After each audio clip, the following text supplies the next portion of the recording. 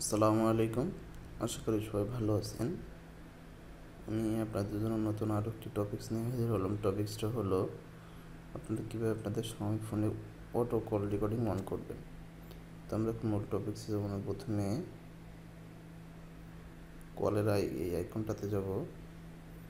দেন তারপর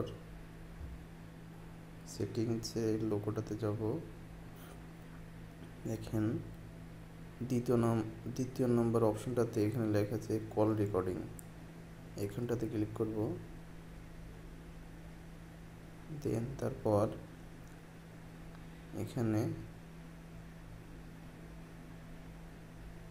recording call automatically এখানটাতে click করব।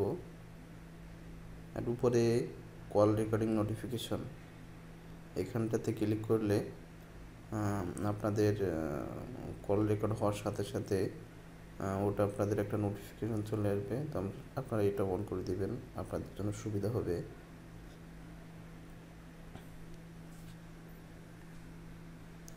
এখন আপনাদের কাজটা হয়ে গেছে। ভালো থাকবেন সবাই।